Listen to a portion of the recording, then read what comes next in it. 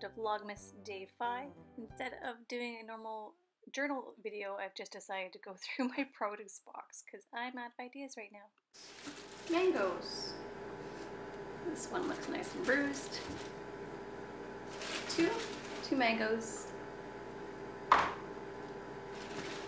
some fresh lettuce, and it's romaine.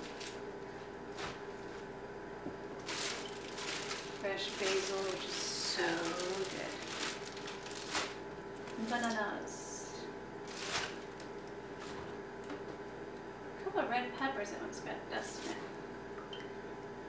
Red peppers.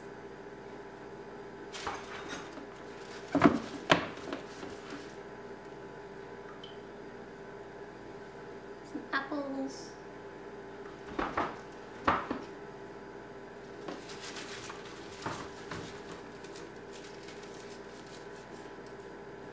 Cipollini onions.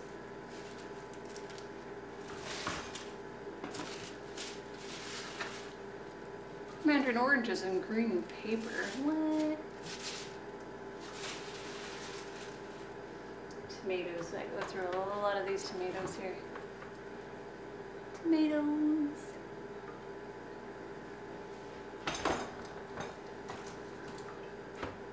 Two lines. Was a substitute. One English cucumber. oh, spare onion. A bunch of potatoes that are going to find their way into my potato sack.